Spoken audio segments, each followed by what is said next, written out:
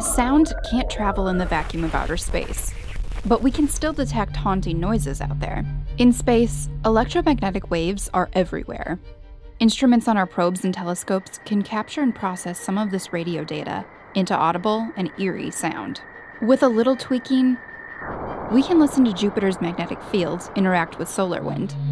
We can hear the sun, passing comets, or even pulsars a thousand light years from Earth. But could we ever hear any audible cosmic sounds with our own ears? For starters, we'd need a medium thick enough to carry vibrations in wavelengths humans can hear. In other words, an atmosphere.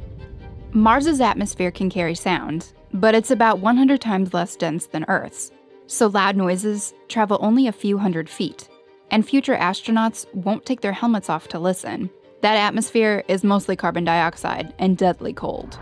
But soon, we'll have the chance to record and maybe listen to whatever's out there. The Mars 2020 lander is slated to carry a pair of regular acoustic microphones.